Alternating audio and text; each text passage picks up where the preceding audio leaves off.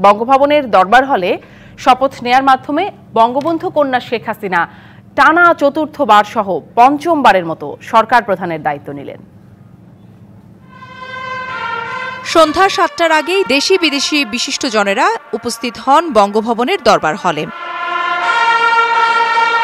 সাতটার কিছু আগেই বঙ্গভবনের দরবার হলে পৌঁছান আওয়ামী লীগ সভাপতি শেখ হাসিনা।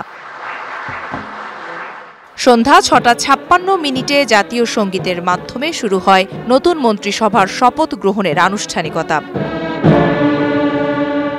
প্রধানমন্ত্রী পদের শপথ ও গোপনতা শপথ গ্রহণ করার জন্য সবিনয় অনুরোধ জানাচ্ছি। ঘড়ির কাঁটায় যখন ঠিক সাতটা তখন দেশের ষোলতম প্রধানমন্ত্রী হিসেবে শপথ নেন বঙ্গবন্ধু কন্যা শেখ হাসিনা।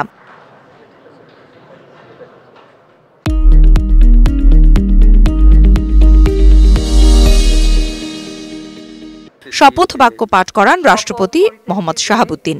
আমি আইন অনুযায়ী আমি আইন অনুযায়ী সরকারের প্রধানমন্ত্রী পদের সরকারের প্রধানমন্ত্রী পদের কর্তব্য কর্তব্য বিশ্বস্ততার সহিত পালন করিব।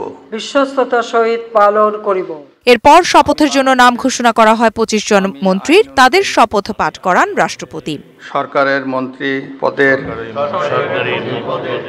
কর্তব্য বিশ্বস্ততার সহিত পালন করিব। সবশেষ শপথ নেন এগারো প্রতিমন্ত্রী। সকলের প্রতি আইন অনুযায়ী যথাবিহিত আচরণ করিব। মন্ত্রিপরিষদ বিভাগের সচিব মাহবুব হোসেনের সঞ্চালনায় সাতাশ মিনিটের অনুষ্ঠানটি শেষ হয় জাতীয় সঙ্গীতের মধ্য দিয়ে।